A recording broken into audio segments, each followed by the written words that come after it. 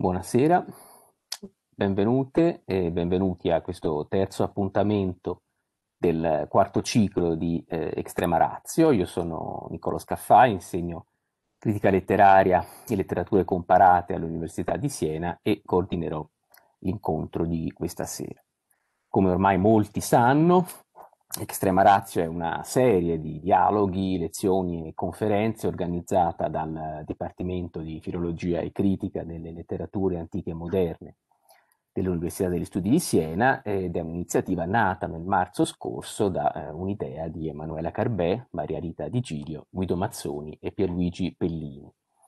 Eh, prima di cominciare ringrazio come sempre il centro di calcolo, l'area biblioteche e l'ufficio comunicazione dell'Università di Siena che hanno reso possibile eh, Extrema Razio e eh, accanto a questo un ringraziamento particolare ad Angelica Losauro, eh, Giulia Laversa e Lara Marrama che si prodigano per eh, assicurare il collegamento e far conoscere questa eh, iniziativa.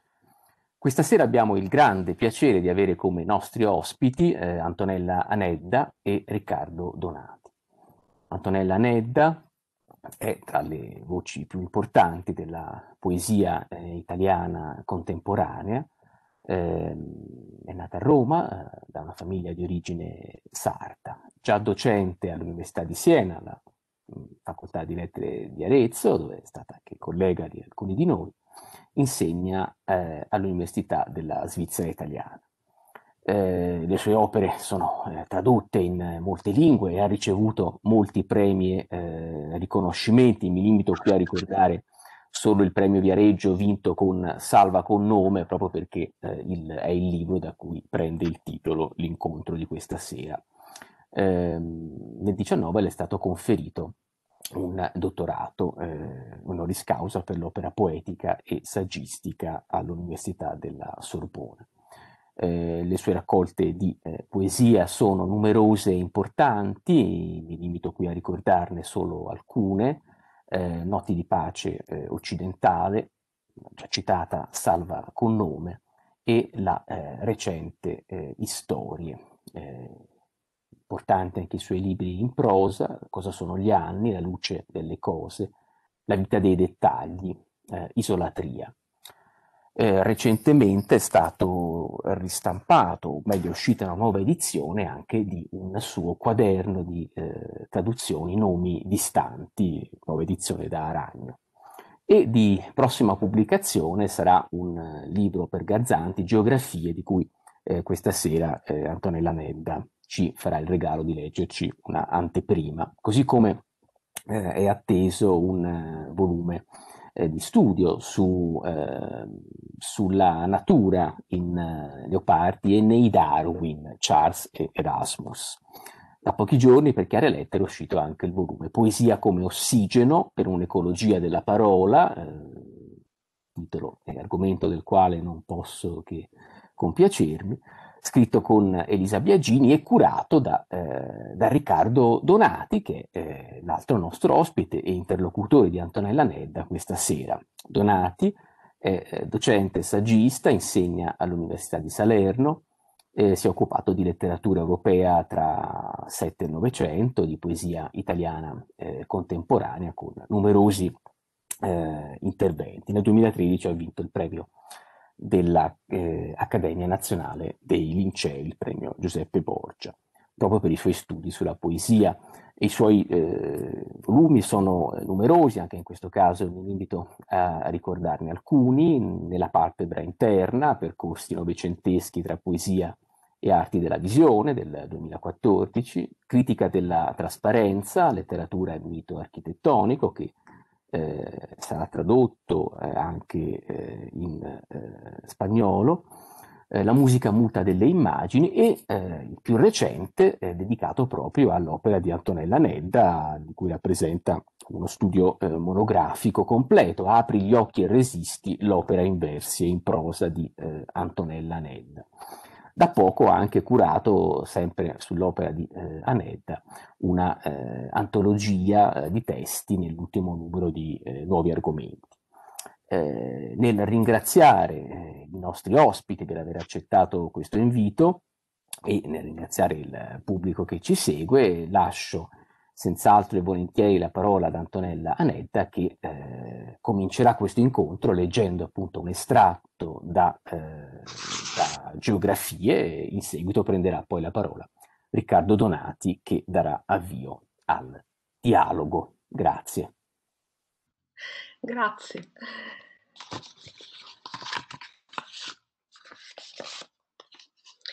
Considera. Considera i pianeti, specchi del Sole e le costellazioni. Il tempo si consuma, lo spazio meno. Lo spazio si rinnova e non è vero che è vuoto. Questa camera, infatti, è migliore dei pensieri che tormentano o attraversano la mente. È piena di cose usate, qualche tazza, scaffali, un armadio chiaro di betulla che può far immaginare la Finlandia. Non si muove nulla. Le cose sono solide come i luoghi pieni di boschi. La finestra inquadra le nuvole, oggi il sole è velato, il divano è grigio. Solo i pensieri in questa pace stormiscono con le loro voci. Il tempo li affila uno dopo l'altro, li rende inconoscibili. Meglio rivolgersi altrove. Vicino alla vetrata dondolano rovi grigi. Tra le foglie dei pioppi vivono stormi di cornacchie. Si sentono gracchiare o gracidare, se si pensa alla loro etimologia e quando una atterra abbastanza vicina da poter essere osservata, si nota la sua fronte sfuggente, il becco arcuato e il grigio sterlina del suo corpo. Sono uccelli forti, che a volte si associano ai corvi. Di giorno cercano cibo, alla sera tornano sui rami dei pioppi, che sono il loro riparo notturno. Sono definiti onnivori opportunisti, Mangiano insetti, carcasse, larve, uova e perfino anatroccoli. A queste abitudini alimentari si unisce una rigorosa monogamia. Spesso le coppie restano insieme tutta la vita. Mettiamo tra parentesi le cose, non prendiamo iniziative, ma le perdiamo. La disposizione delle monete o degli steli fa leggere non un responso o una predizione, ma una specie di indicatore dell'umore, dello stato d'animo e forse dei cambiamenti impercettibili meteorologici che attraversano il cervello e dispongono la giornata. Il segno one di soluzione non ha nulla di macabro, anzi si concentra sulla dissoluzione delle nebbie interiori attraverso il paesaggio. La nebbia si dissolve sul lago, le nuvole si allontanano come le meschinità di ognuno di noi quando riusciamo a vederle. Avvicinamento. Nel linguaggio militare, movimento tattico per portarsi dalla zona di attesa alla base di partenza per l'attacco. Casa invernale, con questo chiudo, una rara settimana di gelo. Il gelo ci fa spostare come popolazioni primitive. Una stanza è meno esposta al vento. Il vetro della finestra tiene meglio la pioggia. Le altre sono a nord. Le vetrate hanno infissi vecchi. L'aria le scuote. Lo sai, l'energia è fatta di pacchetti finiti la luce è fatta di grani, alcune sostanze colpite possono generare una corrente minima, fotoni. L'energia di un raggio di luce, scrive Einstein, non è distribuita in maniera continua nello spazio. Fotoni. Uno sciame di granuli, colori, frequenze. Spettri, come sembrò ad Heisenberg, l'uomo che spariva nella nebbia per poi riapparire nella notte danese. Il caso agisce a livello atomico. Probabilità, cieli stellati, una modesta inclinazione. Grazie Nicolò. Grazie, grazie Antonella per questa bellissima lettura e do quindi la parola eh, senz'altro a eh, Riccardo Donati per l'avvio del, nostro del vostro dialogo. Grazie. Buonasera, eh, ringrazio naturalmente per l'invito e, e, per il piacere enorme di eh, dialogare con, con, Antonella Nedda. Um, avete sentito eh, in questi testi che sono inediti al momento, perché il libro uscirà a marzo, Geografie, avete sentito eh, qualcosa che per, i, i, per, chi conosce l'opera di Anedda eh, può rimandare anche molto indietro, può rimandare anche ai, alle prose giovanili, può rimandare ai primi testi di residenze invernali. C'è tutto un percorso nel lavoro di Anedda che è fatto di spazi, che è fatto di lontananze, che è fatto di peregrinazioni, che è fatto di pagine paesaggio, per così dire, eh, pagine che vengono attraversate eh, non solo dagli uomini, ma anche, eh, ma anche, dagli animali, che sono protagonisti spesso della poesia di, di Antonella Nedda. I voli eh, di questi stormi, di queste cornacchie di Considera, sono in qualche modo eh, legati ai tanti voli che eh, nelle opere precedenti eh, qui nelle opere precedenti abbiamo assistito. Sono voli che creano collegamenti, che creano curve, che creano deviazioni, che tracciano strade, insomma, che formano dei luoghi, delle piste, come del resto sono anche le, le rotte migratorie.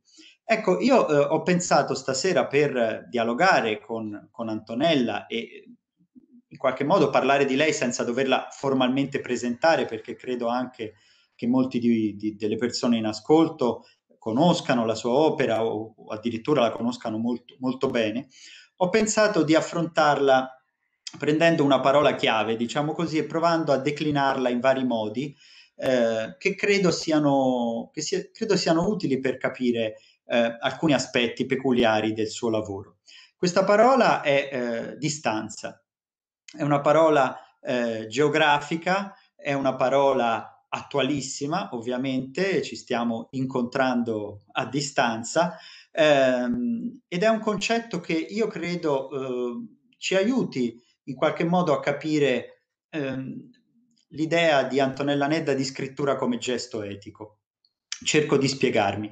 Eh, chi conosce l'opera di, di Antonella sa che eh, per lei la scrittura è un atto di sottrazione, in certa misura un atto di, di rinuncia, di, di offerta di sé, se vogliamo anche qualcosa che ha a che fare col, col preferirei di no eh, belvilliano in un certo senso, comunque qualcosa che contrasta con una ideologia della competizione, della sopraffazione. Eh, ed è anche una presa di distanza dall'io, dai narcisismi, dalle egolatrie, dalle eh, appunto tentazioni di, eh, di autocelebrarsi eh, quello di Antonella Netta è sempre un parlare verso, è sempre un parlare a qualcuno, eh, è sempre un dialogo, è sempre, potremmo dire, con un'immagine molto famosa di Paul Celan, una stretta di mano, no? il testo come una stretta di mano. Ecco, si vede bene, eh, a mio avviso, già in questo testo, che peraltro è premiale, il testo che inaugura Geografie, considera, si vede molto bene eh, la, la, natura della scrittura di Anedda, no? perché questo considera in fondo eh, molte cose diverse, è un imperativo, un imperativo morale rivolto innanzitutto a se stessi, è un invito, è un cenno civile a chi legge. Um, ecco, eh, in questa idea per la quale quello creativo non può essere in nessun modo un gesto solipsistico, un gesto sufficiente a se stesso, ma è un gesto che impone una, una fuoriuscita dal, dal limitato perimetro dell'io, appunto per abbracciare una dimensione collettiva o se vogliamo addirittura corale eh, dell'esistenza, io credo che si inneschi un, un meccanismo in qualche modo di, eh, non si può dire abolizione della distanza, perché, eh, perché, la distanza, cercherò anche di dirlo poi più tardi in altri, in altri modi e magari con qualche esempio concreto, è qualcosa che non si può del tutto abolire, non è il nostro potere abolirlo, ma di disobbedire alla distanza, di disobbedire al potere normalizzante falsificante della, della distanza per cercare in qualche modo eh, l'autenticità di uno spazio, di un pensiero che sia dato dal raccoglimento, dall'intensificazione della realtà e dal rifiuto dei miti del momento. Um, la scrittura come gesto, io credo che questo sia anche forse uno dei, dei nodi no? di questi incontri che voi state organizzando, come, eh, come riflettere sul presente in modo eh, antagonista, non passivo se non altro. Eh, ecco, eh, la scrittura come un pensiero che, ehm, che, scuote, che non ripete quel che già si sa, ma che cerca di ehm, offrirsi come gesto di resistenza, forse possiamo usare anche una parola più forte, come gesto di disobbedienza civile. Um, quindi disobbedire alla distanza eh, è un po', eh, a mio avviso, un modo, eh, un'idea, un, un, un, concetto che ci permette di entrare nell'opera di Antonella Nedda. Eh, vorrei declinarlo in quattro direzioni diverse, se Antonella crede, lanciandole così degli spunti, eh, sia eh, in qualche modo citando dei suoi testi che se poi lei eh, crede potrà leggere, che fanno parte di quel blocco di testi che, eh, abbiamo, che abbiamo, fornito, ehm, sia magari reagendo o in qualche, in qualche, modo, insomma, alle mie parole. Eh, dicevo, disobbedire alla distanza ehm, è, è, è, il concetto su cui vorrei articolare queste mie riflessioni.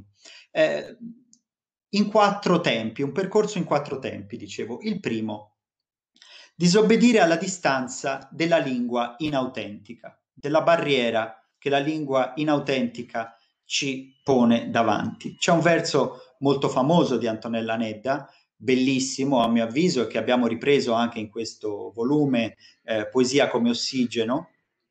Non esiste innocenza in questa lingua. Ecco, um, la distanza può essere anche questo, può essere la presa di distanza dall'inautenticità della lingua ereditata e delle, delle eh, come dire, um, dei, delle violenze che la storia ha esercitato sulla lingua e che ci ha in qualche modo trasmesso. C'è un famoso passo di, di Kafka, autore carissimo eh, da Nedda e non soltanto, credo eh, di saperlo caro anche a Guido Mazzoni, eh, lo stemma cittadino, che è un testo di Kafka, nel, nel, di Kafka, nel quale leggiamo la lingua è il respiro sonoro della patria, ma io sono un grande asmatico poiché non conosco né il cieco né l'ebraico.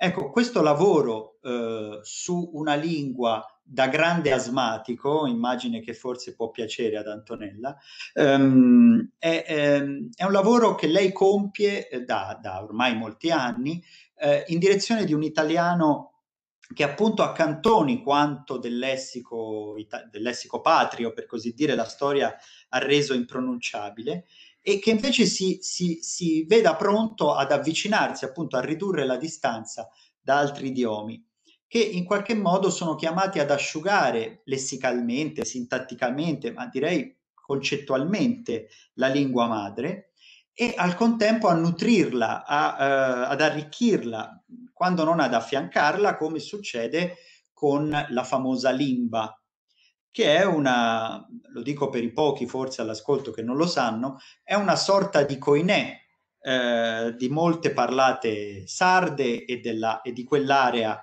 geografica carissima alla, alla biografia di, di Anedda, che, eh, ori- la cui famiglia ha origine in quelle terre, ma che, terre che lei ha sempre frequentato e, e alle quali ha dedicato molte pagine.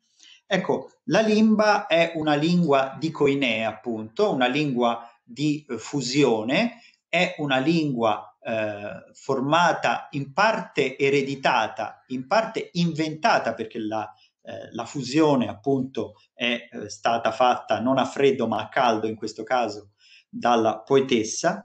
Eh, in Limba Antonella Nedda ha scritto alcuni dei suoi testi più belli, ne cito due che sono in questo piccolo pacchetto antologico, diciamo così, eh, che si intitolano appunto Limba 1 e eh, Contro Scauro l'altro.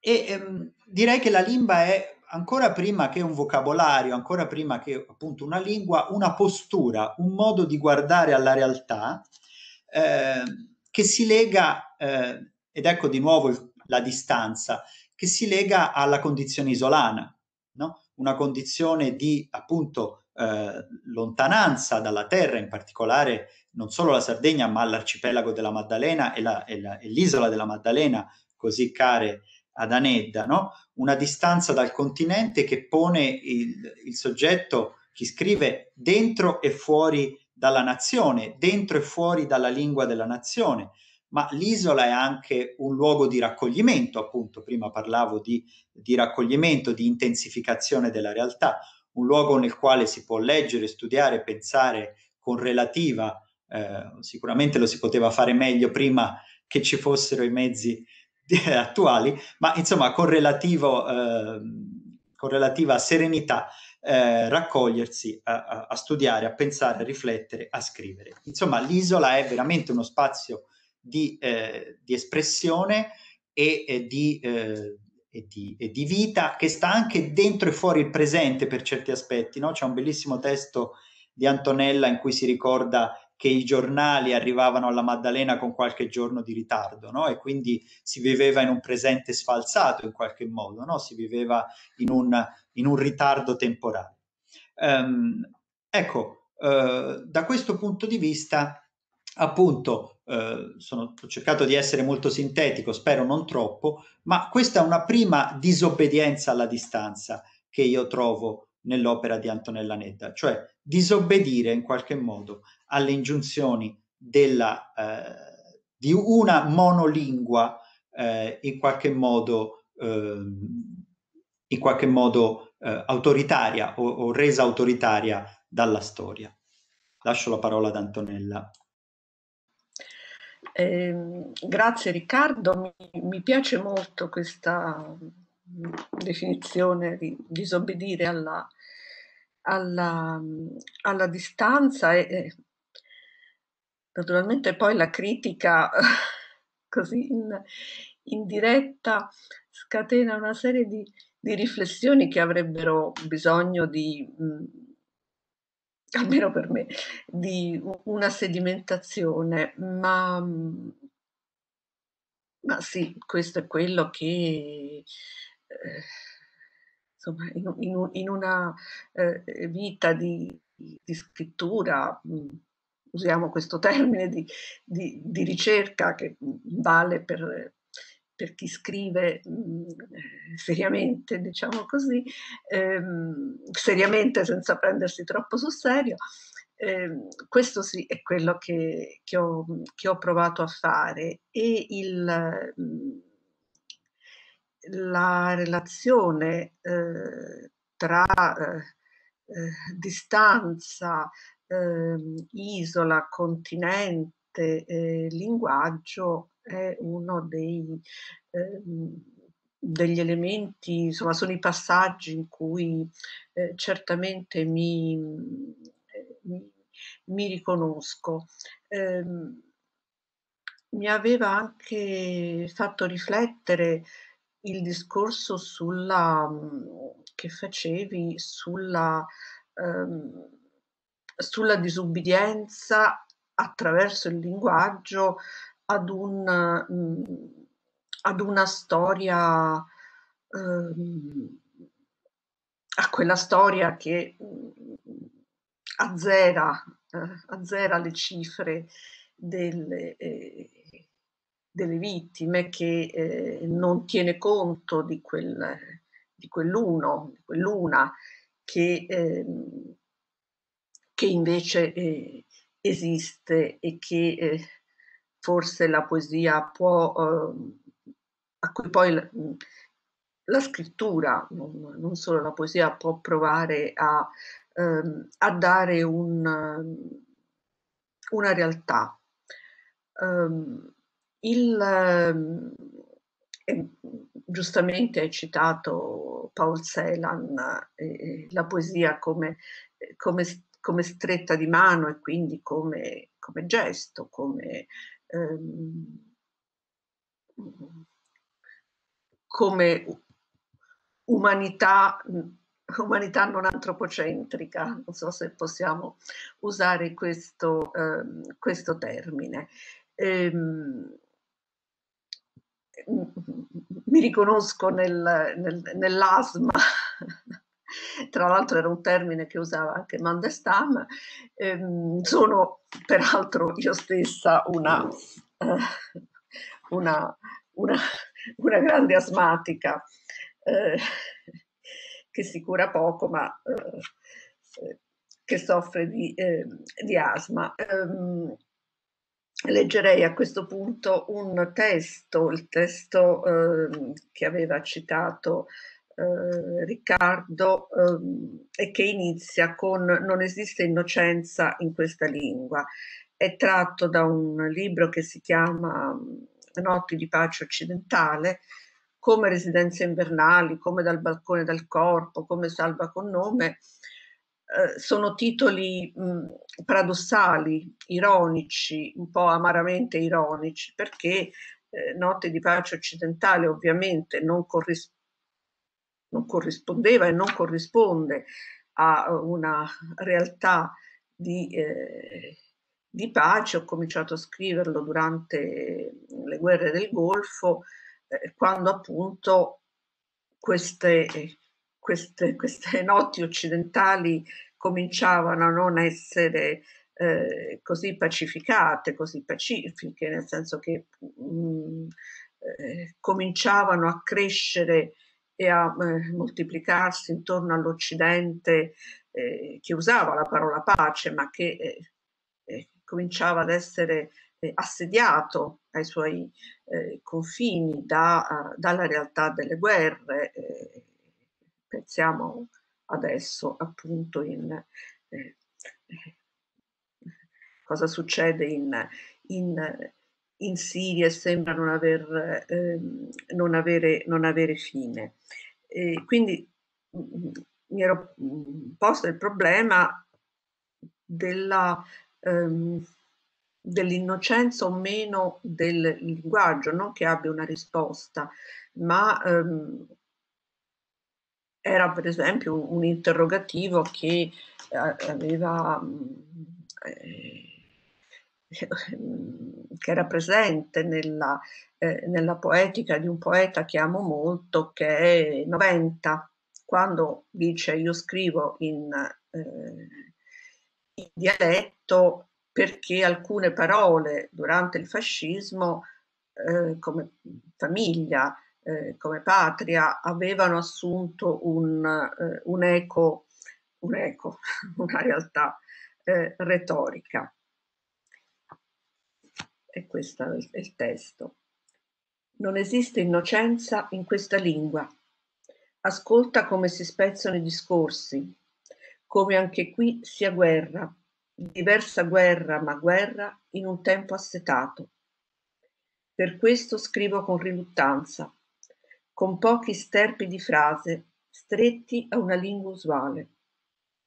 Quella di cui dispongo per chiamare laggiù, perfino il buio che scuote le campane. C'è una finestra nella notte, con due sagome scure addormentate, brune come gli uccelli, il cui corpo indietreggia contro il cielo. Scrivo con pazienza, all'eternità non credo. La lentezza mi viene dal silenzio e da una libertà invisibile che il continente non conosce, l'isola di un pensiero che mi spinge a restringere il tempo, a dargli spazio, inventando per quella lingua il suo deserto. La parola si spacca come legno, come un legno crepita di lato, per metà fuoco, per metà abbandono. Grazie Antonella di questa lettura. Credo che la, eh, mi, io sia un po' al buio, però non, dopo provo a, ad aggiustare le luci. Eh, riprendo allora, eh, se siete d'accordo, eh, di continuare su questa falsariga della disobbedienza alla distanza, che credo davvero possa essere un modo per entrare nell'opera di Antonella, con un secondo passo eh, disobbedire alla distanza dello sguardo gerarchico, dello sguardo autoritario.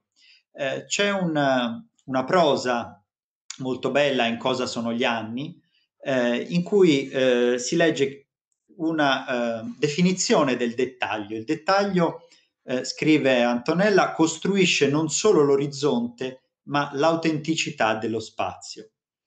Ecco, se noi guardiamo cosa Antonella chiede alle immagini, ma anche se vogliamo prendere una, una suggestione eh, di, di, di, Mitchell, eh, cosa le immagini chiedono, eh, chiedono, alla poetessa, che cosa in qualche modo ehm, la sollecitano, in che modo la sollecitano.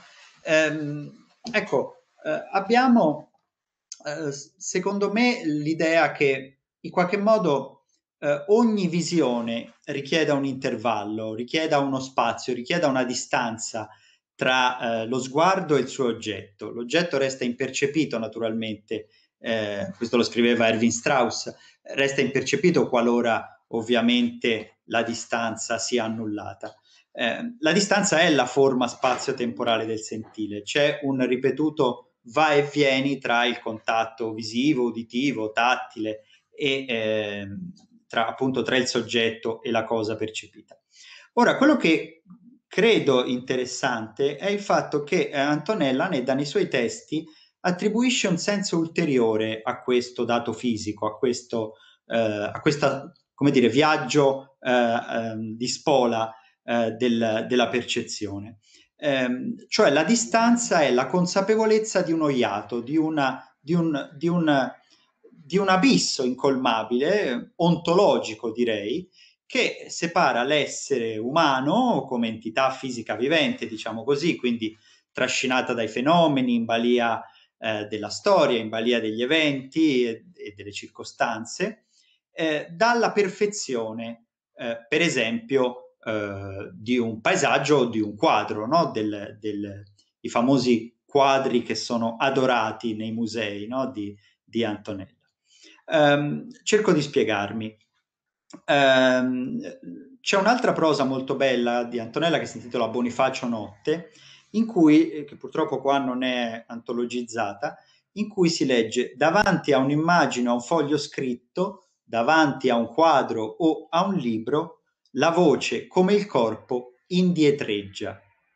Non esattamente silenzio, ma voce che sale e si ferma, perché intuisce la distanza di ciò che è verticale, di quello spazio, un grande, un piccolo abisso che ci separa dalle cose. Ecco, la distanza quindi in qualche modo eh, rappresenta, direi, qualcosa di molto concreto, eh, il fronteggiarsi di due verticali, quella del corpo dell'osservatore o dell'osservatrice in questo caso e quello del paesaggio o della tela o del muro o dello schermo eh, è anche contemporaneamente, però, è chiaro, una metafora del nostro essere al mondo, cioè l'indizio di una, di una separatezza costitutiva, per così dire. No? Ehm, in un altro testo della luce delle cose eh, leggiamo quei segni laggiù sono i geroglifici del nostro spavento, delle nostre attese, di ciò che trasmutando ci abbandona.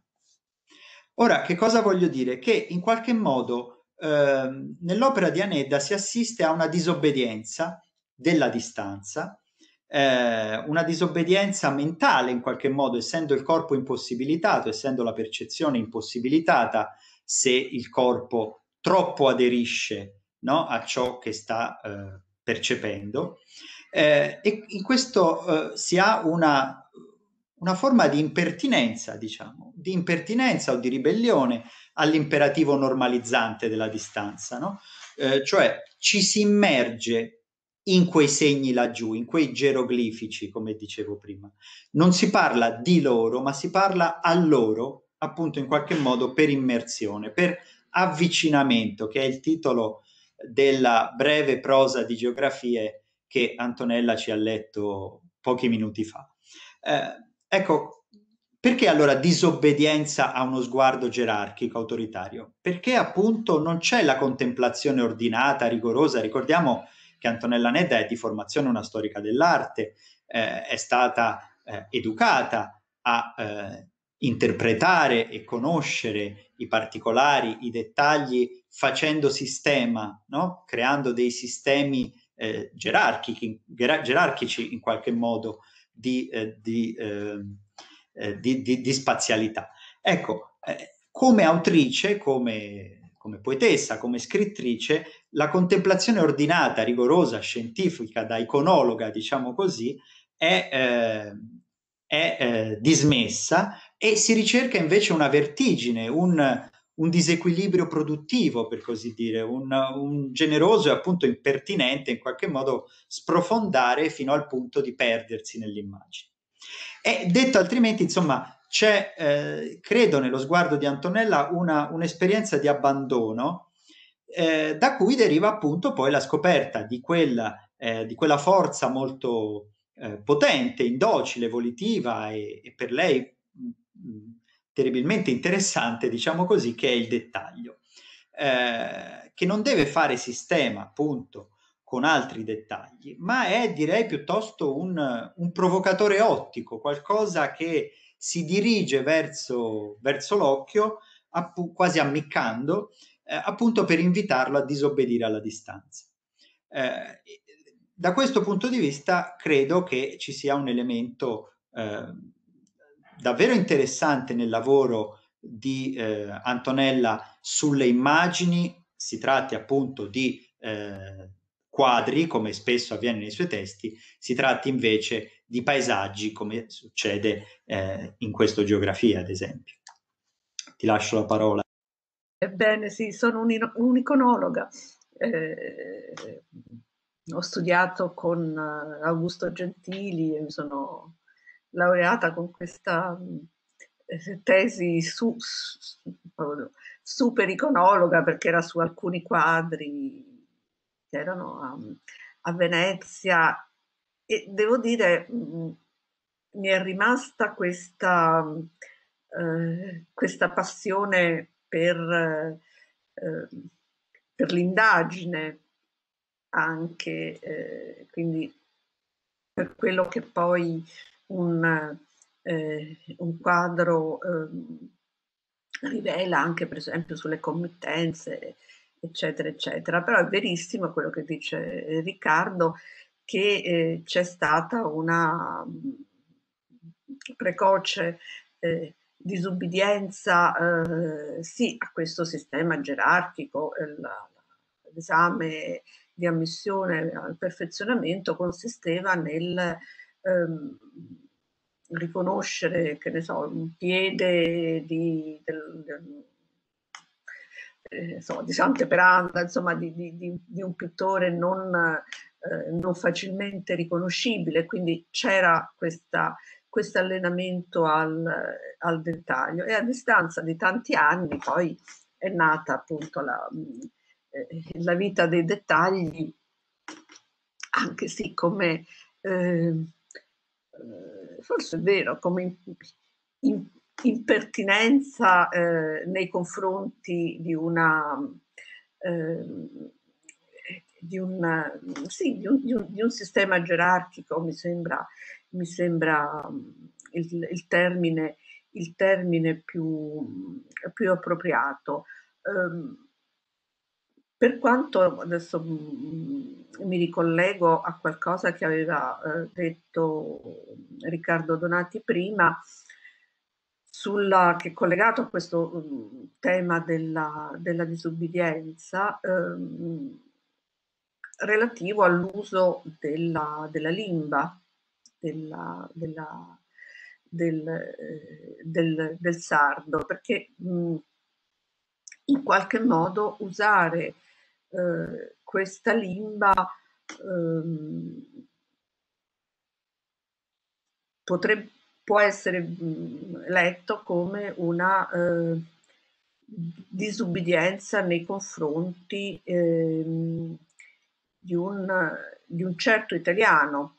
Eh, in realtà eh, la limba è considerata, come dice la parola, proprio una, ehm, una, una una lingua eh, a parte e vicinissima al, al, latino.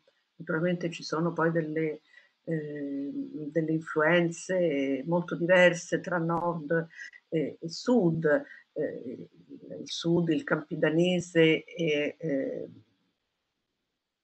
ha avuto l'influenza spagnola e quindi moltissimi termini sono mh, mm, eh, influenzati da questo, il nord invece, il, il gallurese, eh, ha questa vicinanza anche con, eh, con la Corsica, con, quindi con, con, la Francia, il centro invece, eh, il nuorese, è eh, la limba per eccellenza, quindi il, il sardo, eh, il sardo più puro. Io sono eh, sarda,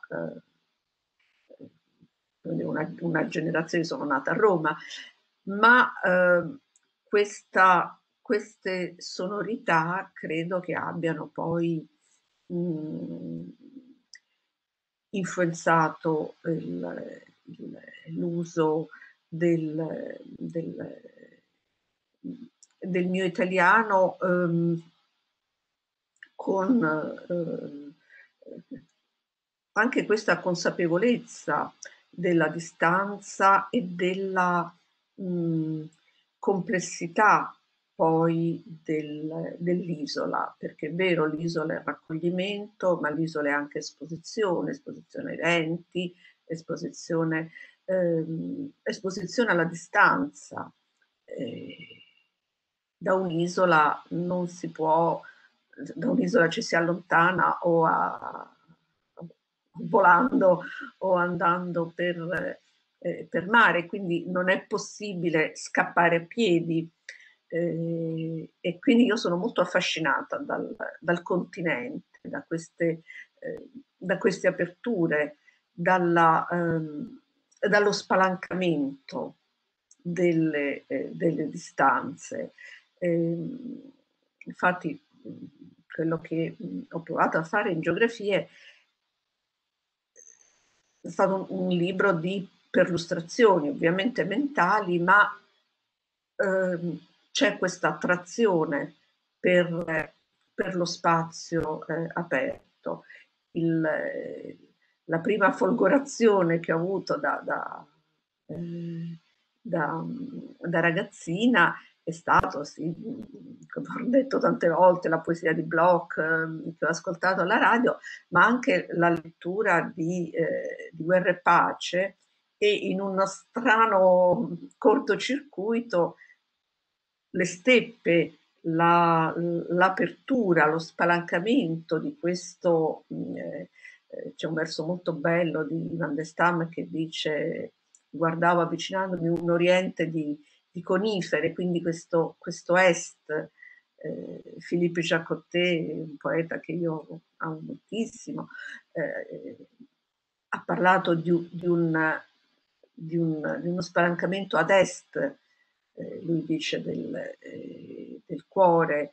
Ehm, quindi ecco, queste aperture mh, hanno sempre avuto un, un ruolo importante nel, nel, in, quello, in quello che scrivo e il dettaglio mi interessa nella misura in cui eh, so, anche il dettaglio quotidiano mi interessa nel suo, ehm,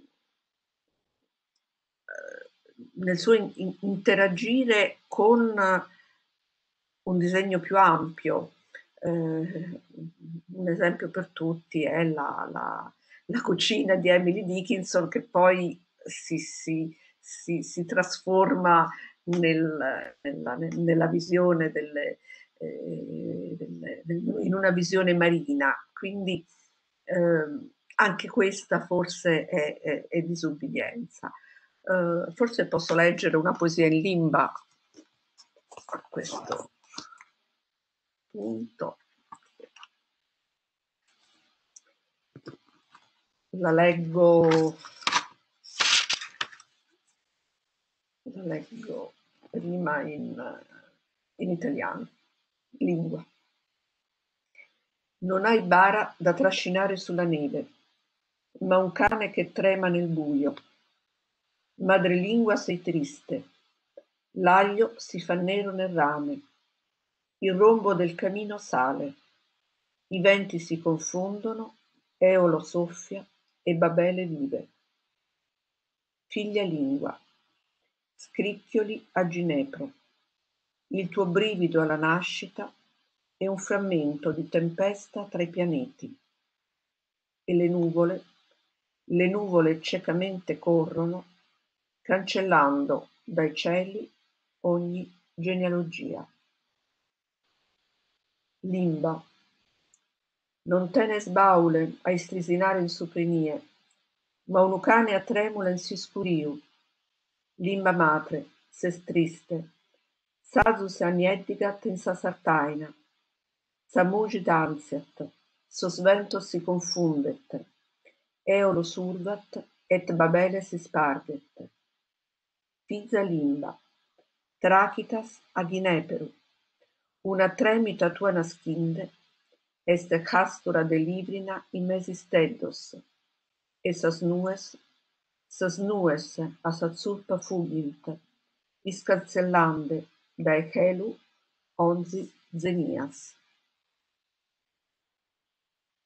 E eh, contro Scauro, mh, mm, Scauro eh, era proconsole in Sardegna eh, nel 54 a.C., venne accusato di concussione e di aver eh, spinto una donna al suicidio dopo averla violentata.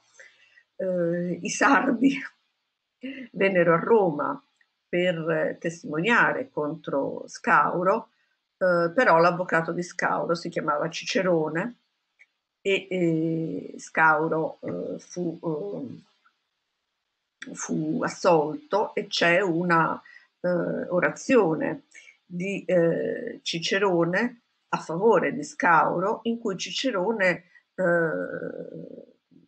si, si, si, si beffa questo questi uomini rozzi, coperti di pelle, probabilmente puzzolenti, e, qui, e dice che eh, sono testimoni inaffidabili e che il, il, dire, la loro testimonianza non può essere presa sul serio e che vengono da un paese, da, una, da un luogo eh, in cui perfino il miele è fiele, eh, il miele amaro effettivamente. E, e, eh, contro Scauro. Non so scrivere di Roma. Troppa bellezza, eleganza, tuniche di lino. Forse così, venti secoli fa, pensarono quei sardi, venuti a chiedere giustizia contro Scauro. Gente senza fede terra dove perfino il miele è fiele. Così diceva Cicerone nella sua orazione. Ora il suo nome gira tra le pietre, minuscolo, veloce. Ma come allora muoiono i testimoni. L'ape si affatica, resiste il miele, lingua di cardo, corbezzolo, sale. Non isto scrivere de Roma, Meda belluia, decidu, muda sellilu. Forzi goi sunt binti seculus, pessent cuddos sardos, benitos a dimandare giustizia contra scauro. Zente Cheneide, terra ue peri su mele est hele. Goi in aria Cicero in freddo suo. Ora in mesu petras, bortat suo lumene.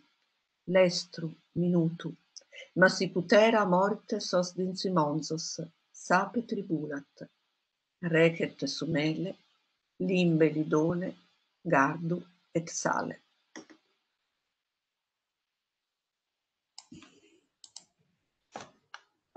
Riprendo sempre più nel buio, ma non so come fare a illuminarmi altrimenti. E eh, dunque la terza eh, declinazione, diciamo così, del, ehm, di questo disobbedire alla distanza è, eh, a cui avevo pensato è il disobbedire alla distanza che, che, è la morte senza naturalmente per questo presumersi immortali.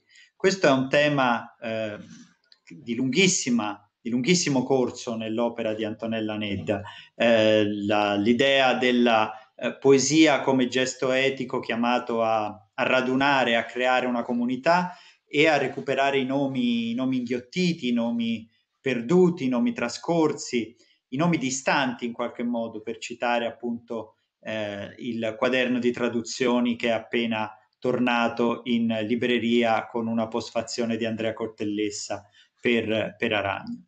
I nomi che naturalmente, quindi salva con nome, ecco l'idea eh, di, questa, di questa serata, eh, naturalmente nomi non come monumenti però, nomi come parole che passano nella trama del tempo in cerca di, di, di, un dialogo, che cercano di, eh, favorire, di instaurare un dialogo.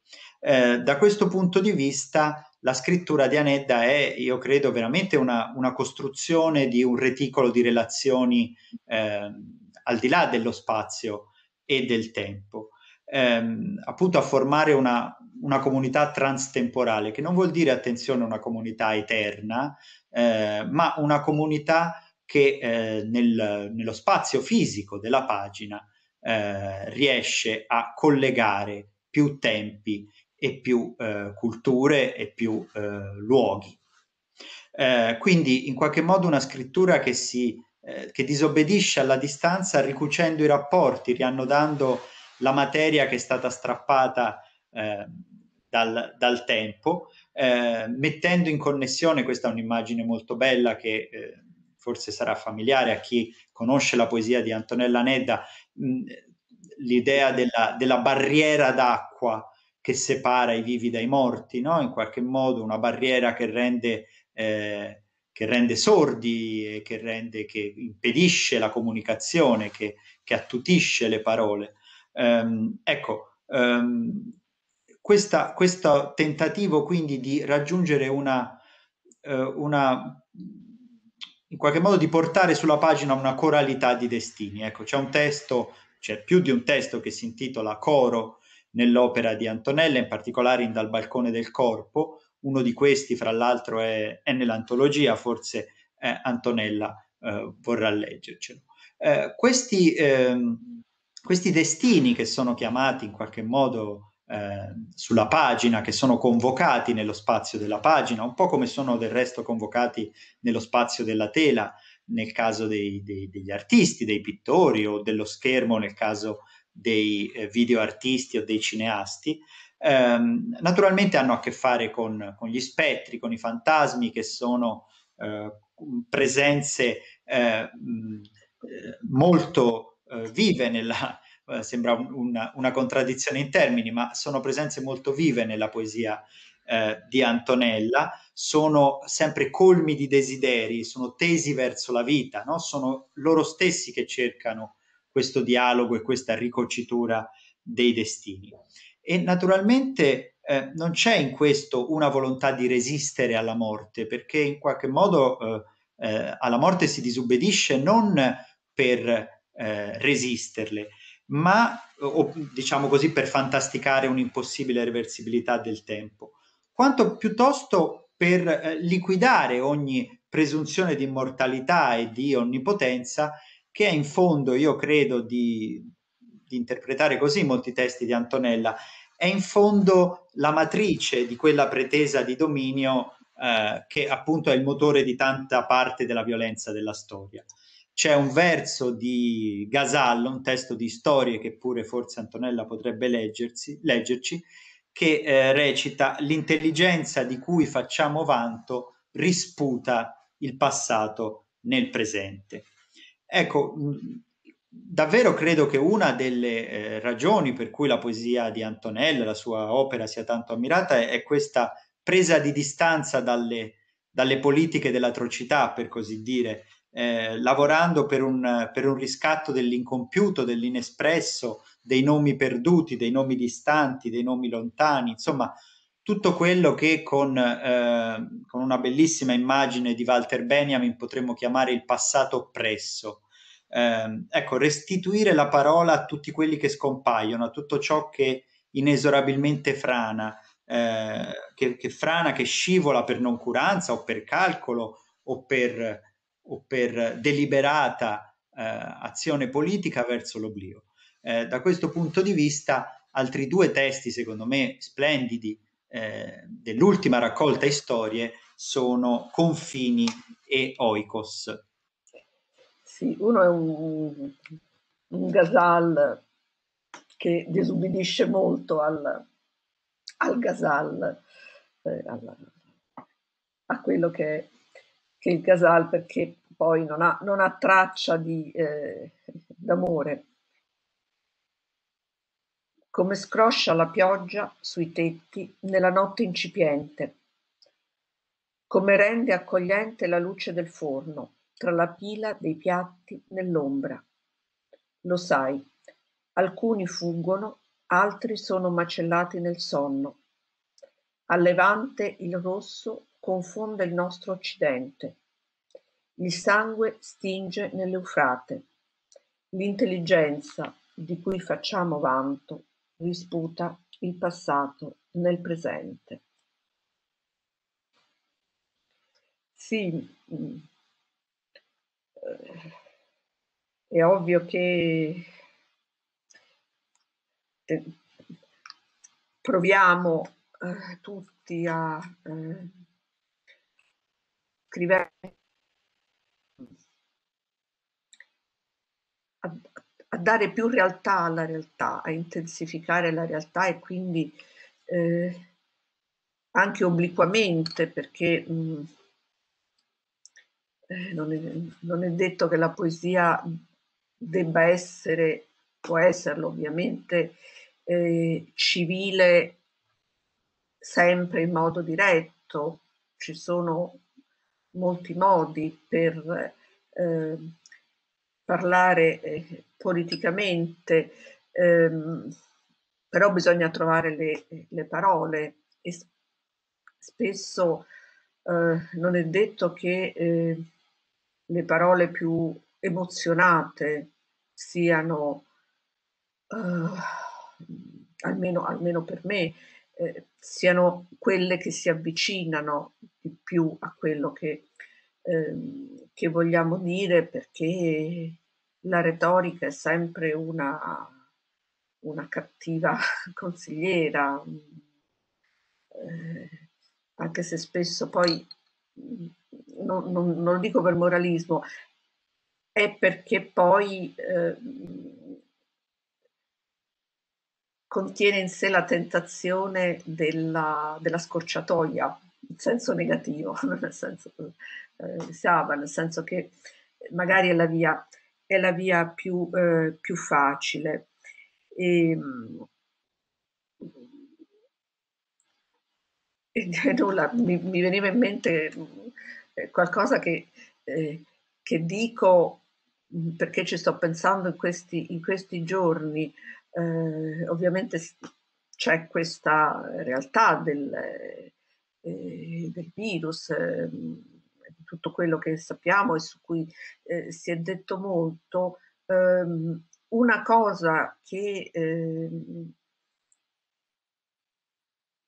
che è preoccupante è il, ehm, il fatto che molti diritti civili eh, in questo momento rischiano di, eh, diritti eh, calpestati, rischiano di passare sotto, eh, sotto silenzio, eh, per esempio appunto eh, Zaki in, in, in, in Egitto e così moltissime, moltissime altre cose. Allora forse potremmo unire le forze eh, e fare qualche cosa, ma questo mm, è, un, è ovviamente un, un, discorso molto ampio. Leggo Oikos, mh, mm, che è una poesia mm, dedicata, molto privata, dedicata ai miei genitori.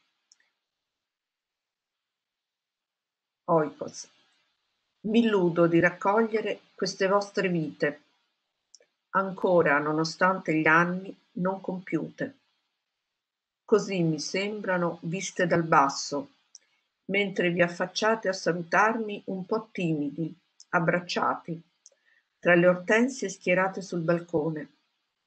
Dormirete tra poco, cullati dal senza niente del televisore, che nessun baratro eguaglia. E poi furtivamente, in piena notte, dimenticando di spegnere le luci, andrete verso il letto per sognare Così mi raccontate l'indomani e io penso che bello questo ancora, di suoni che continuano a ronzare, di sabbie mobili ma secche, come in quel documentario visto ieri, di nomadi e altopiani, forse in Asia centrale. E qui ci sono, uh, devo dichiarare, due, sono dichiarati nelle note due furti da zanzotto, che è il, il senza niente del televisore, e poi forse la parola baratro, sì, che c'è tanto, eh, tanto spesso. E, non trovo confini, ma eh, forse posso leggere Esili, eh, che ha un'epigrafe da, da, Tacito, che poi è il, il chiaro ispiratore di questo, eh, di questo libro, e, e, pieno il mare di esuli, no? gli scogli macchiati di, eh, di sangue. Eh, avevo aperto, riaperto a caso storie e questa frase mi sembrava uh, terribilmente attuale. E questo è un fatto reale di due migranti che erano stati trovati eh, affogati e abbracciati. Oggi penso ai due dei tanti morti affogati a pochi metri da queste coste soleggiate, trovati sotto lo scafo, stretti, abbracciati. Mi chiedo se sulle ossa crescerà il corallo e cosa ne sarà del sangue dentro il sale. Allora studio, cerco tra i vecchi libri di medicina legale di mio padre, un manuale dove le vittime sono fotografate insieme ai criminali alla rinfusa, suicidi, assassini, organi genitali. Niente paesaggi, solo il cielo d'acciaio delle foto, raramente una sedia, un torso coperto da un lenzuolo, i piedi sopra una branda nudi. Leggo. Scopro che il termine esatto è livor mortis. Il sangue si raccoglie in basso e si raggruma prima rosso, poi livido, infine si fa polvere e può, sì, sciogliersi nel sale.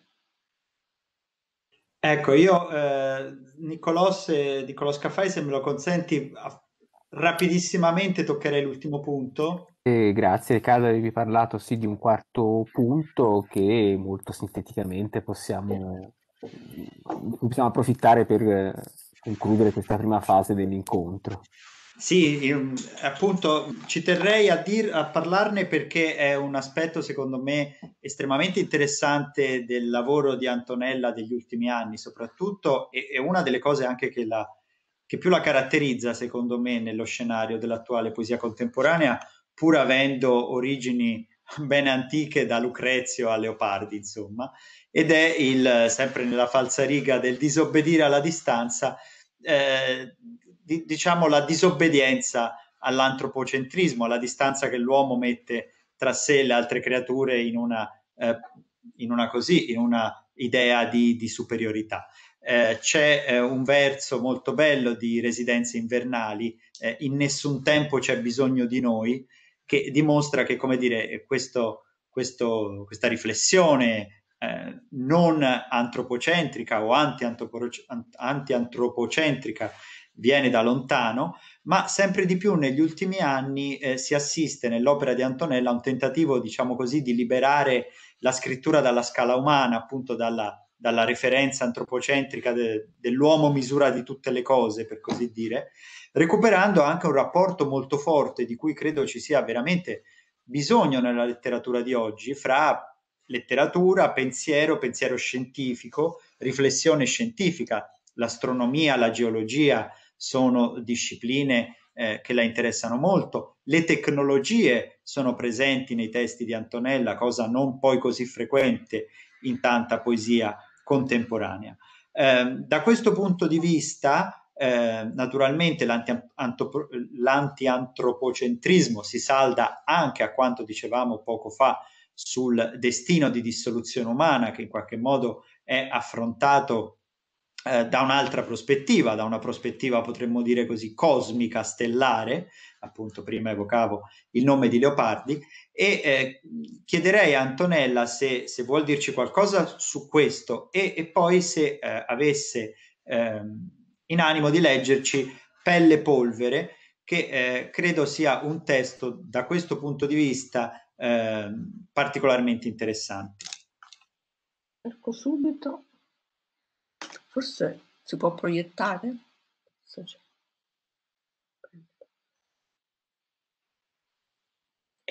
Ehm, sì, eh, questo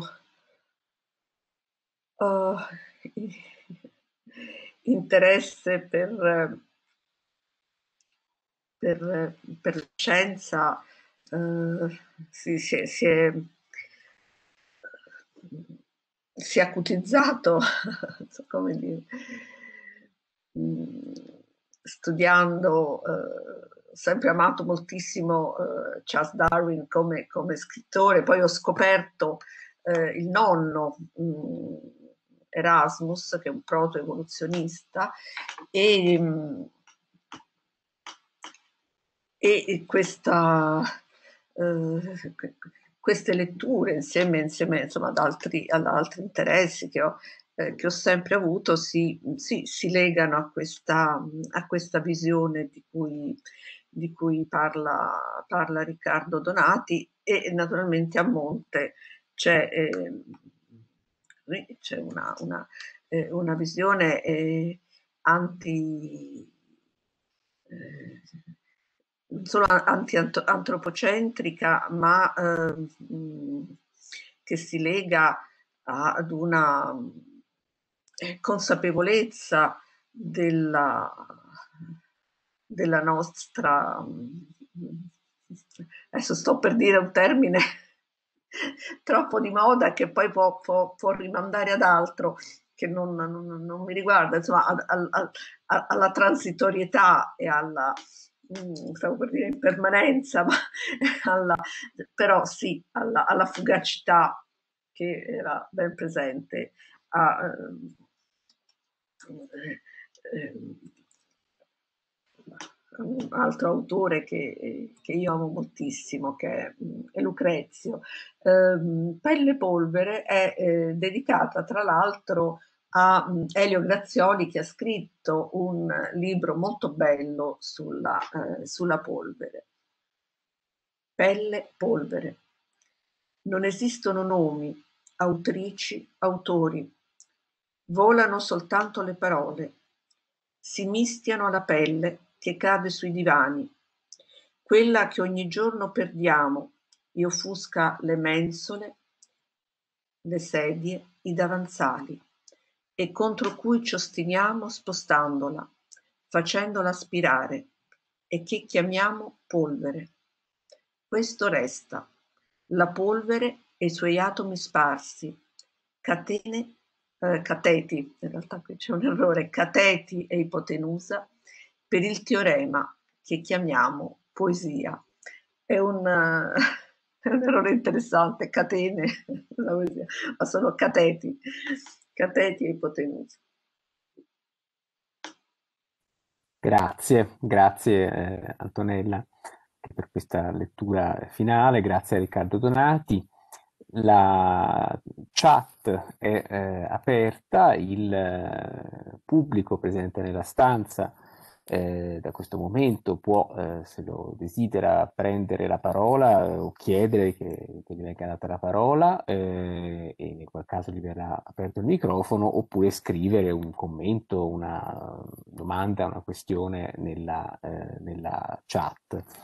Lo stesso vale per YouTube, se, mh, se, qualcuno ha dei commenti verranno poi trasmessi e credo che ci sia da YouTube un commento, che è una, un apprezzamento da parte di eh, Ita Crispino, che scrive che il tema della disobbedienza alla distanza è di eh, straordinaria attualità e ringrazia per i numerosi spunti di riflessione. Ehm, bene, chiedo quindi se qualcuno vuole prendere la parola. Vedo che Guido Mazzoni ha acceso lo schermo e gli lascio la parola. Eh, grazie Antonella, grazie Riccardo per questo dialogo molto bello. Eh, volevo, volevo chiedere una cosa a, Antonella. Eh, tu non partecipi eh, quasi mai, alle, anzi mai, alle discussioni di poetica e tantomeno alle polemiche letterarie, giustamente. Eh, c'è però una, un'eccezione recente, molto eh, garbata e condotta eh, sul filo dell'ironia, eh, che però eh, porta a un tema sostanziale eh, questa eccezione è in uno dei testi più significativi del tuo ultimo libro di storie, Nuvole Io. Quando dici eh, vorrei disfarmi dell'io, è la moda che prescrive la critica, ma la povertà è tale che possiedo solo un pronome. Cioè rivendichi eh, la natura eh, lirica della, della, della forma che ha la tua poesia. Una delle, delle, delle, cose più straordinarie della tua opera è il modo in cui sei riuscito a costruire una prima persona che eh, non saprei definire in altro modo se non come credibile. Una prima persona cui si crede, che ha una forza di, di verità nella, nella, sua parola, che è una verità esistenziale, allo stesso tempo una verità collettiva. E secondo me ci sei arrivata ehm, anche, ci sei arrivata eh, allentando i giunti e, e, e, in qualche modo tagliando la tela rispetto ai modelli che avevi al momento del, eh, in cui hai, hai, cominciato a scrivere e a pubblicare tra la fine degli anni 80 e l'inizio degli anni 90. Ecco, volevo, volevo appunto chiederti eh, qualcosa sulla, sul, sul, modo in cui, in cui, vedi articoli e difendi eh, la tua prima persona. Eh, la poesia che hai citato era appunto una, una poesia scherzosa anche su me stessa e, e devo dire che mh, mm, eh, io per prima non credo che esista una, un'identità, proprio per questo eh, mi permetto di, eh, di giocare con, eh, con l'io e mi sembra mh, mm, sempre uh, un po' buffo che ci si ponga il problema dell'io, perché l'io non esiste. Eh, l'io non, come non esiste la... Eh, come si, sa che la coscienza è una costruzione, no? una mappa eh, evolutiva. E, ehm, quindi questo dibattito eh, sull'io eh, veniva un po' ehm, eh, preso in giro, ma eh, in questa, in questa eh, presa di distanza c'è anche il mio io. Ehm, e, e non come dire, sono sempre un po' stordita di fronte a questo, eh, a questo dibattito e, e questa poesia, come tante poesie, poi eh, è nata, eh, si è costruita intorno a, dei, a, delle, a delle, idee e, come sappiamo tutti, a un certo punto una poesia funziona con, con tanti, tanti eh, mattoncini. Forse la posso leggere. Mm Nuvole Io. Il documento viene salvato. Lo schermo torna grigio, lo stesso grigio topo del cielo.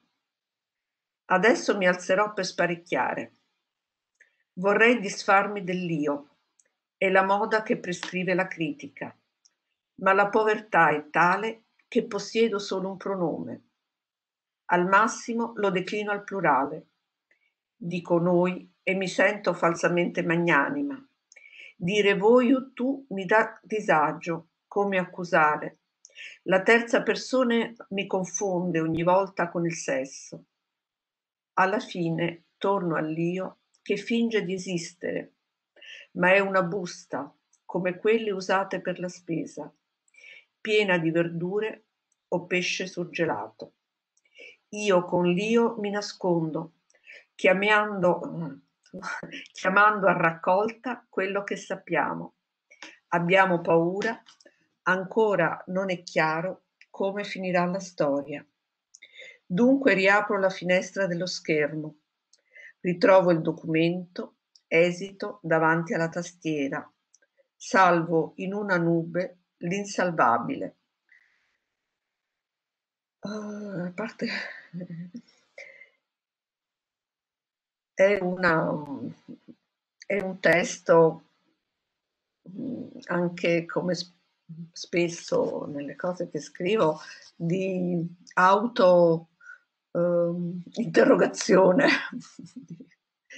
di dibattito, di dibattito eh, interiore, quindi in realtà eh, non c'era tanto una polemica quanto un interrogare me stessa, ecco, e interrogare eh, questa cosa che chiamiamo io, che cos'è, mm, esiste davvero, che beh, insomma è una convenzione, eccetera, eccetera, tant'è vero che eh, è vero, la terza persona mi confonde, però se la leggo mi, mi piace ovviamente. Per quanto mi riguarda, dire voi o tu eh, eh, confina mm, con eh, l'accusare. Il dire noi a volte mi sembra confinare così con una, con una dico ironicamente, no? con una magnanimità.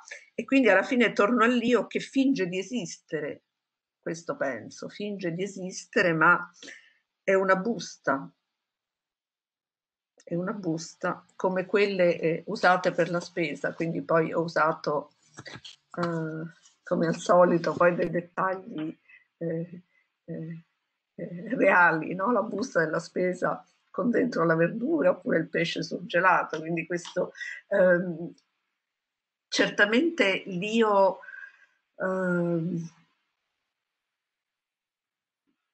quel, quel, quella parte di me che chiamo io non è, non è un io eh, non è un, un io eh, di, di, di super mistico, non so come dire. Mm, eh, mi spiace che a volte è stato c'è stata così una, una eh, come si dice, un, un fraintendimento, eh, in senso, no, non so come mai sia successo, no? spiritualistico, non che ci sia nulla di male, eh, o, o, o, mistico, eh, che non, che, non, mi appartiene, o, o così, un'effusione lirica.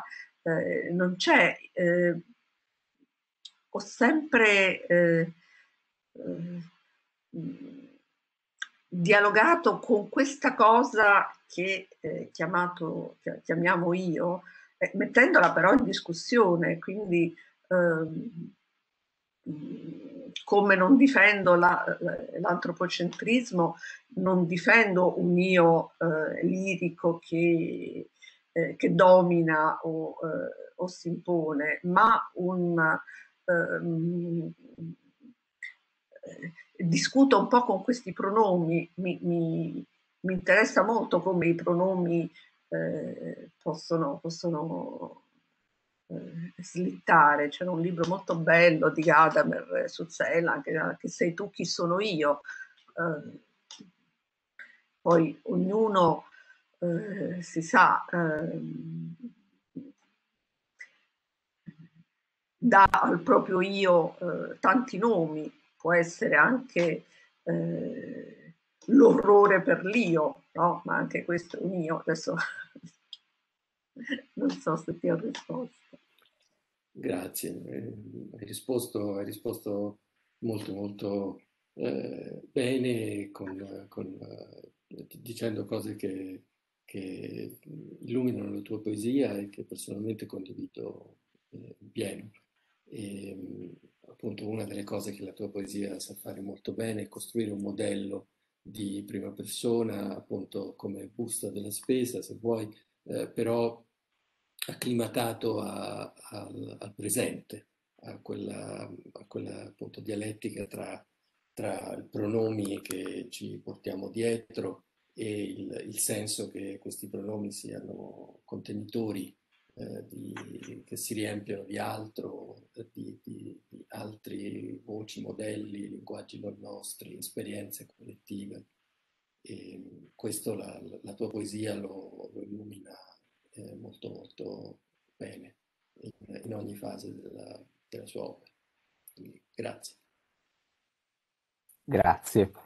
Nel frattempo sono arrivate nella chat diverse, diverse domande e commenti che, eh, che, leggo e che potete leggere e se Antonella ha eh, eh, voglia di eh, rispondere. Dunque il primo eh, è di eh, Sabatina Napoletano che ringrazia dell'incontro e chiede, vuole chiedere se la Maddalena nel momento in cui diventa geografia per una trama narrativa seppure breve per un romanzo breve può essere oggi per il contemporaneo e il futuro una buona idea e vuole chiedere anche se l'isola come luogo dell'anima può popolarsi di coloro che ci abitano in letteratura per il destino letterario comune eh, a cui siamo chiamati. Eh, ecco, questa era la prima in ordine di eh, apparizione, diciamo, delle questioni e chiedo ad Antonella se ha qualche se desidera insomma commentare o rispondere in qualche modo, poi ci sono altre sì, non so, vogliamo metterle tutte insieme, poi forse direi che può essere una buona idea, io le leggerei, continuerei a leggerle anche le altre arrivate finora, una domanda invece da Davide Di Falco che eh, chiede se eh, nel caso della scrittura di Anedda è più la poesia ad andare verso la prosa o più la prosa ad andare verso la poesia e se c'è un rapporto con la grande prosa sarda da Satta Dazzeni. Um, Stefano Elia Maroè eh, che eh, osserva a fronte di tanta immediatezza che oggigiorno si riscontra anche nella poesia, che valore hanno per lei la costituzione del libro e la progressione nella sua struttura. E eh, ancora Francesco Brancati eh, mi ha incuriosito la definizione di ironici fornita per i titoli delle sue raccolte. Io invece avevo sempre inteso il titolo Notti di pace occidentale come un'indicazione geografica che sottintende un giudizio etico-politico. Noi a ovest, a occidente abbiamo le notti di pace, a est invece c'è la guerra. Non vi era nessuna volontà di alludere a una demarcazione di questo tipo. Grazie intanto a chi no. Eh, è intervenuto. Eh, sì, ehm, se la Maddalena può diventare un uh, oggetto di, di, un romanzo, certamente. Ehm, eh, è un, un, luogo, come sappiamo, il G8 che non è stato realizzato, eh, molti problemi connessi con, con tutto questo. Eh, certo, mh, l'augurio è che si, si, si popoli mh, come, come credo, o credo, insomma, come raccontava mia, mia nonna e poi mia bisnonna, eh, un tempo era chiamata la piccola Parigi perché era eh, in, eh, in, contatto con eh, così di, diversamente dal, dal, dal, centro della Sardegna eh, anche per motivi poi militari perché c'era c'era la base della, della, Marina e quindi aveva un'altra, un'altra fisionomia. La, la, sfida sarebbe eh, si, si, si ripopolasse eh, in modalità che non so, non so no, eh, non, so, non, so, prevedere. Eh, ma certo questo è un discorso molto ampio che, che riguarda eh, la difesa del territorio dal, dal, dall'abusivismo e che riguarda eh, non solo la Sardegna ma molta parte del, del, eh, dell'Italia. Mm, la seconda domanda, sì, assolutamente sì, eh, la prosa, eh, ora non so se vado verso la prosa o se, mm, mm, se, se, se la prosa va verso la poesia o la poesia verso, eh, eh, verso la prosa. Ci sono delle, eh, delle sistemazioni um, che credo obbediscano, stavolta obbediscono ad un'esigenza um,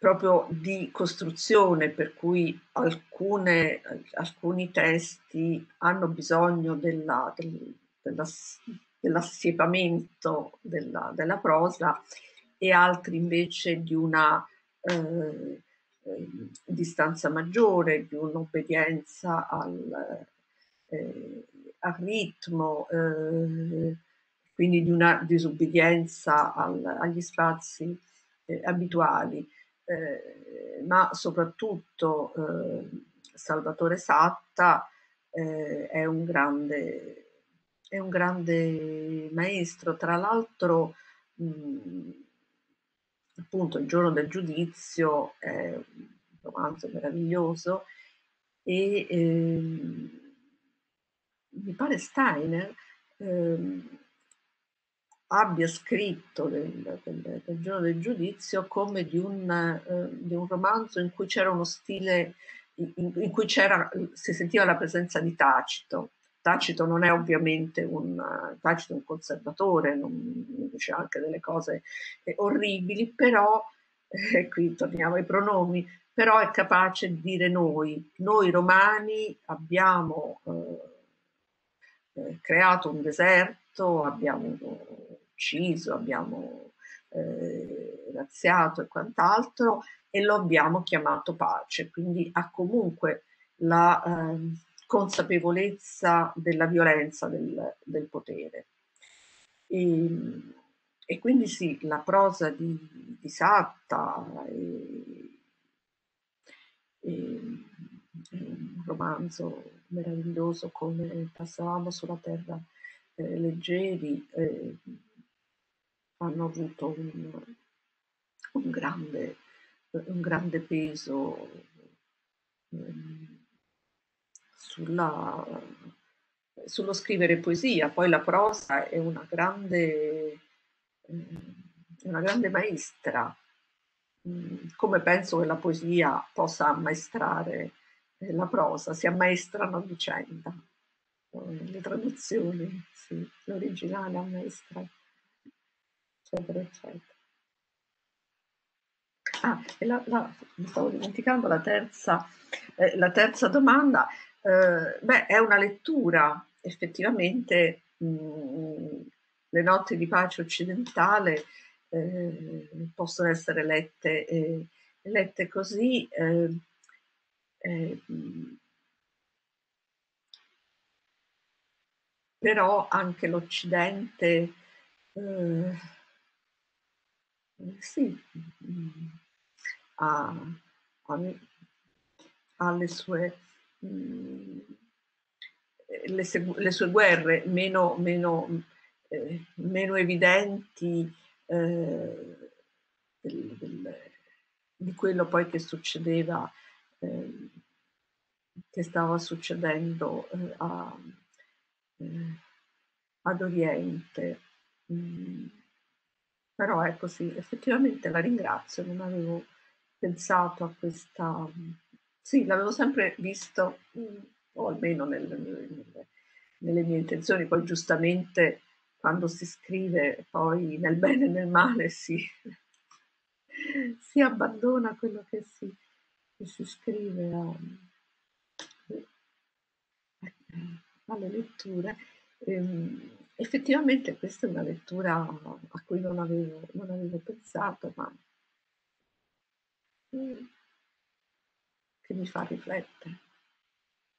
Grazie. Dunque, salvo mio errore, forse c'è ancora una domanda di, di eh, Eli- eh, Stefano Elia Maroè, ehm, che in sostanza chiede se quale valore ha ehm, la costituzione del, del libro, del, del libro e sì, la progressione della sua struttura, scrive esattamente. Ehm, posso, posso rispondere così magari come, come, come ho sempre mh, lavorato eh, in quello che ho scritto. Eh, ovviamente non, non c'è una, una, raccolta di, eh, semplice di, tre, di, testi, poi almeno nelle, nelle, nelle intenzioni c'è la la volontà di costruire una, un'architettura del, eh, del, libro, per cui, eh, so, per esempio in storie i testi più tardi sono eh, ehm, all'inizio e invece poi alcuni eh, all'interno perché poi eh, sì, c'è una progressione, ma c'è soprattutto un, ehm, un tentativo di dialogo fra le varie parti del, eh, del libro. Mm, non so se ho, eh, se ho, capito bene la domanda. Eh, c'è sempre nella, nella, nella costruzione eh, di un libro una, um, un tentativo poi di eh, definire un paesaggio attraverso, attraverso le, le, pagine. Ecco, in questo senso, eh, più che una, una progressione, eh, nel senso che, mh, come succede, non so, in un, in un, romanzo, si va verso una, um, una fine. Um, c'è sempre mh, sono sempre due, due, due elementi, due verità. Eh, mi sembra sempre che l'ultimo libro sia effettivamente l'ultimo, cioè che non possa essere tranquillamente l'ultimo e poi c'è un, a un certo punto eh, scatta un ricominciamo che mh, poi ricominciamo, no, il ricominciamo becchettiano. No? il, che riguarda poi il, l'eterno fallimento della, della scrittura, della, della, della, nostra scrittura, insomma, di qualsiasi tipo, ma che comunque eh, ci fa ricominciare. Gra- grazie. Eh, ci sarebbe ancora una domanda scrive Francesco Tonello, eh, in una sua poesia Nedda scrive perché parlo da un'isola il cui latino ha tristezza di scimmia, eh, citando Dante. Penso che il recupero del latino da una prospettiva anticlassica, antiromana, e l'utilizzo del sardo stiano intrecciati e si inseriscano in una poetica di attenzione ai vinti, ai popoli prevaricati, all'umanità perduta. Mi incuriosiva sapere se in questa posizione che incrina la cultura conquistatrice ci sia un aspetto legato anche a una questione di gender e di patriarcato. Eh, grazie Francesco. Sì, ehm, allora sì, Dante scrive appunto che i, i sardi parlano il latino come, come, le scimmie, come le scimmie, quindi in qualche modo veniva rivendicato questo eh, esatto come riflessione sul, eh, sul, sul, limite e il, la, eh, non so se c'è una, una riflessione sul, sul, sul genere. Ehm, c'è sicuramente una, una riflessione sulla, eh, sull'emarginazione e quindi in questo senso sì, eh, anche sul, sul, genere e sulla, su, questa, su questo continuo eh, confronto tra eh, lingua del, del potere e, e, e emarginazione. Mm, questo, questo eh, mi, interessa, mi interessa moltissimo anche nella poesia contro Scauro c'era, c'era, c'era questo. E, ehm, e sì, poi in realtà il, il latino è sopravvissuto eh, moltissimo nel, nel, nel, sardo e nel sardo dell'interno della, della Sardegna.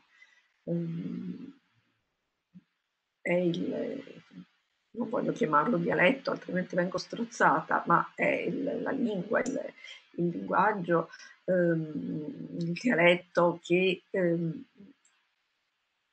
ha più legami con il, con il, con il latino. E quindi eh, questa scimmia, questo parlare eh, al modo delle scimmie, poi eh, queste scimmie lo hanno, lo hanno eh, in qualche modo eh, conservato. C'è sempre questa imprevedibilità nella, nelle, nelle, nelle vicende, nella, nell'accadere delle cose.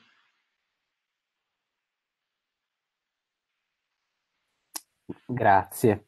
Eh, leggo ancora una eh, domanda, eh, nella quale emerge il riferimento a un artista che eh, credo eh, cara ad Antonella, ehm, di Valeria Palleschi, è la domanda che dice che eh, l'ha colpita una possibile affinità di temi tra la poetica di Antonella Nedda e la ricerca dell'artista Maria Lai, anche lei sarda, che ha realizzato un ciclo di geografie e ha insistito molto sul vuoto e la distanza.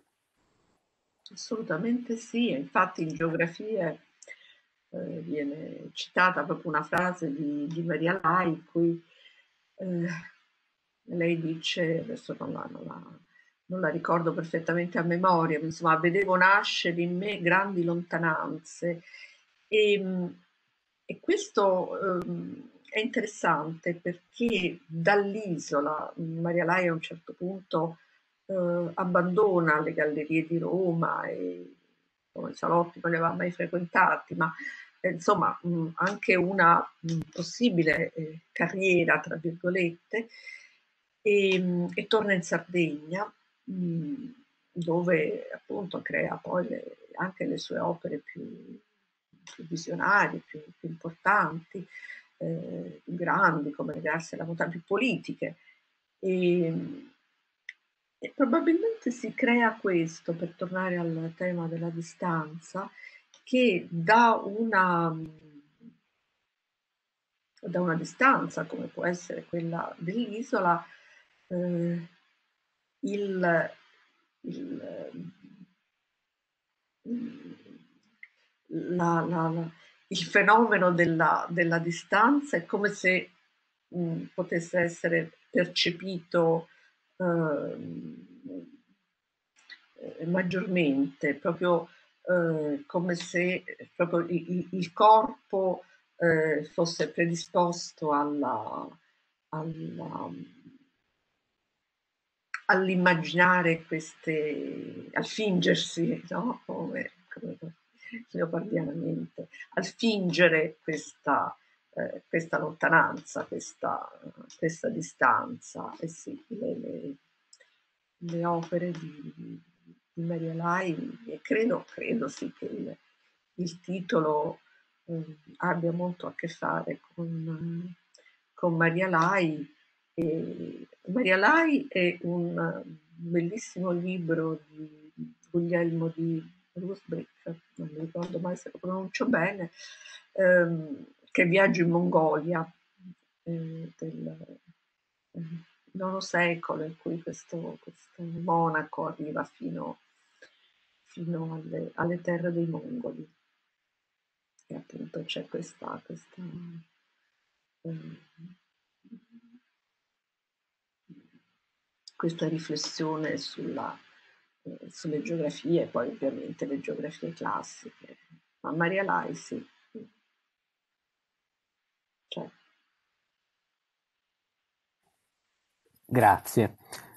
Non so se qualcun altro dei eh, presenti ha, vuole intervenire o se ci sono altre domande sulla chat di YouTube.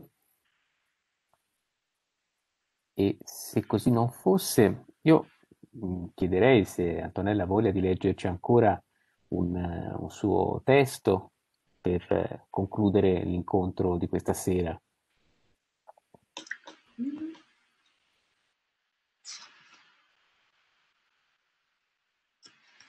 Un testo astronomico che si chiama Tauridi. Tauridi. Quando fin dal mattino ci si arrende al caldo, aspettando la notte, con le pompe che lavano le strade e l'asfalto fuma di vapore, quando la vita non è un intreccio ma un balbettio di digressioni, affiora dal torpore l'immagine di un'acqua intravista in campagna, tra le felci e le ortiche, tesa come un lenzuolo, con mollette di rami e un catino di sassi verde gelo. Di colpo allora quella tregua consola anche noi scettici, come quando un inverno, affacciandoci per caso ad un balcone, abbiamo visto lo sciame delle tauridi fendere a sorpresa il cielo buio. Grazie, grazie Antonella eh, grazie a Riccardo Donati e eh, a chi è intervenuto e a tutti quelli che hanno partecipato. E ehm, se nessun altro eh, vuole intervenire, io eh, me non resta che eh, salutarvi dando eh, appuntamento a tutti per la settimana prossima, cioè giovedì 11 febbraio, per il quarto e ultimo incontro di questo ciclo di eh, Extrema Razio. Eh, sarà eh, ospite eh, la comparatista, studiosa eh, Françoise Labocat di eh, Paris che dialogherà con Riccardo Castellana su Fatto e Finzione, cioè il libro di Labocat, la cui traduzione in italiano sta per uscire. Grazie ancora e auguro a tutte e tutti una buona serata.